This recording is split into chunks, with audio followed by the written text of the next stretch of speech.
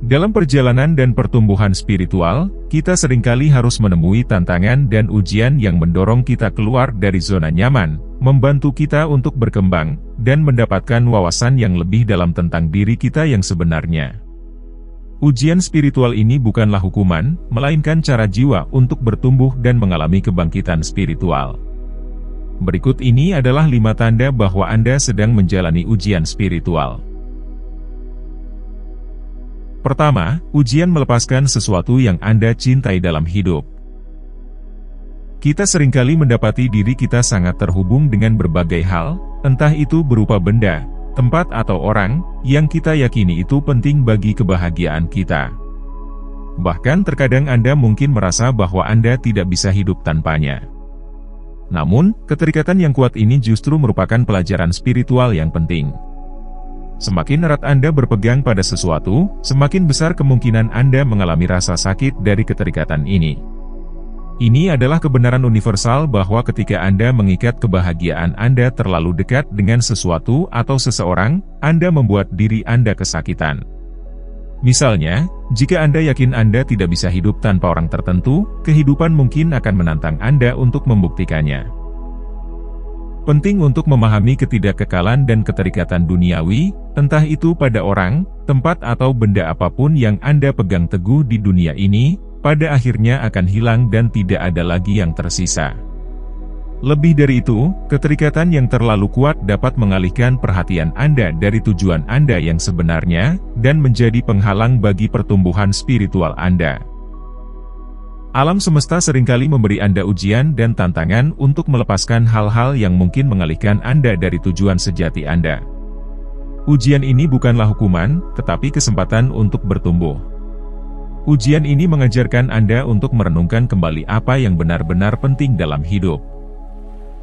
Setiap keterikatan yang Anda miliki di dunia ini, seperti sebuah beban yang menahan Anda, dan semakin banyak Anda mengumpulkan, semakin berat pula beban Anda. Namun, ketika Anda belajar untuk melepaskan hal-hal yang tidak lagi mendukung pertumbuhan Anda, Anda sedang membebaskan diri Anda sendiri. Tindakan melepaskan ini adalah langkah besar menuju pembebasan spiritual, ini tentang pemahaman bahwa kebahagiaan dan kedamaian sejati datang dari dalam, bukan dari sumber eksternal. Kedua, ujian tentang penilaian orang lain. Dalam kehidupan sosial manusia, setiap orang pasti mempunyai keinginan untuk diterima dan dipahami oleh orang lain. Namun, di beberapa titik dalam hidup, Anda akan menghadapi kritik atau penilaian dari orang-orang di sekitar Anda. Hal ini dapat terasa menyakitkan dan terkadang dapat menggoyahkan kepercayaan diri Anda. Namun, menghadapi penghakiman adalah sebuah ujian spiritual yang mengajarkan Anda untuk tetap jujur pada diri sendiri dan jalan Anda, terlepas dari apa yang orang lain pikirkan atau katakan. Pendapat orang lain lebih banyak mencerminkan diri mereka sendiri daripada diri Anda. Penilaian orang lain bisa datang dari ketakutan mereka sendiri, ketidakamanan atau kesalahpahaman. Jadi, ketika Anda mendapati diri Anda dihakimi, ingatlah bahwa itu tidak selalu mencerminkan kebenaran atau diri Anda. Pada saat-saat seperti ini, penting untuk tetap fokus pada suara hati dan keyakinan Anda. Ujian spiritual ini adalah tentang ketahanan dan menjaga kesadaran diri Anda, bahkan ketika dihadapkan dengan tekanan eksternal. Ini tentang memahami bahwa perjalanan spiritual Anda adalah unik, dan tidak semua orang akan memahami atau menyetujuinya.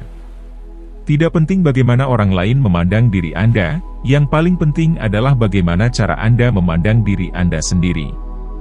Ujian ini akan membawa Anda menemukan diri sejati Anda.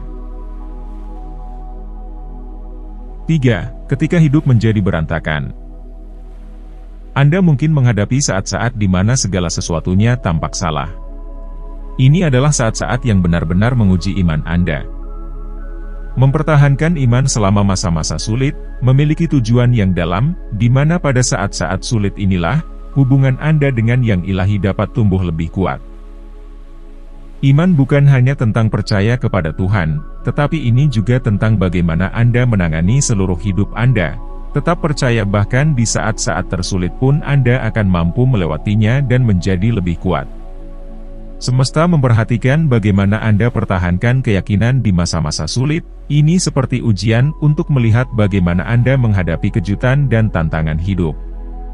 Anda sedang dilatih untuk tidak membiarkan hal tak terduga membuat Anda kehilangan keseimbangan.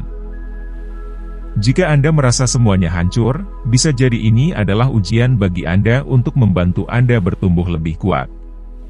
Memiliki keyakinan pada masa-masa ini, berarti percaya bahwa apa yang hilang dari Anda akan digantikan dengan sesuatu yang lebih baik.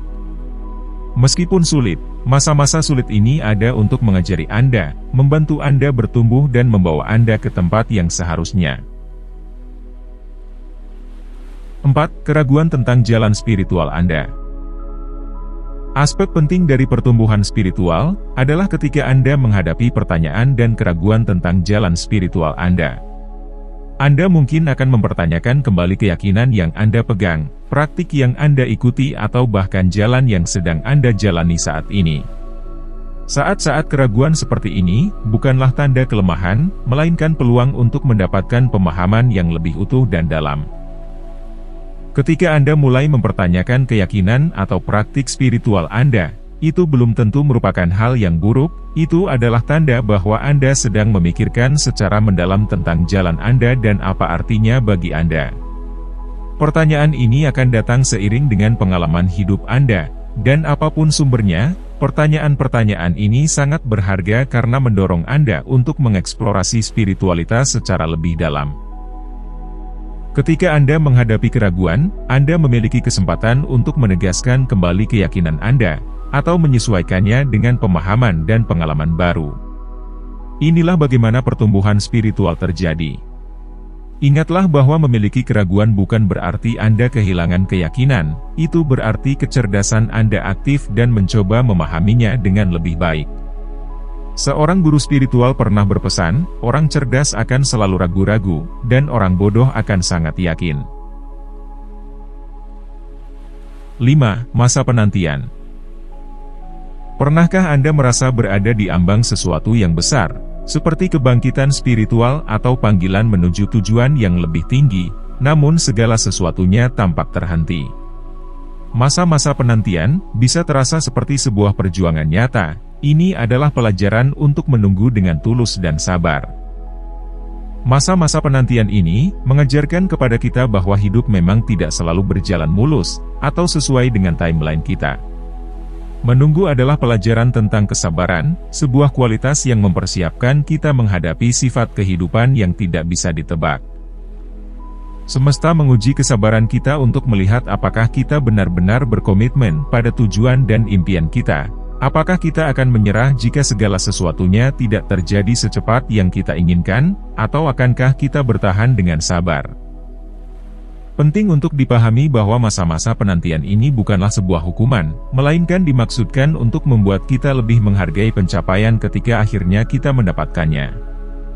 Jika segala sesuatu datang kepada kita dengan mudah, kita mungkin tidak terlalu menghargainya dan kita mungkin akan kehilangannya dengan mudah. Ketika kita menguasai seni menunggu, kita akan menjadi tanpa beban. Tetaplah bersabar dan percayalah bahwa semesta punya cara terbaik untuk memberi penghargaan pada mereka yang menunggu dengan tangguh. Oke sampai di sini dulu video kali ini, sampai jumpa di video selanjutnya. Terima kasih.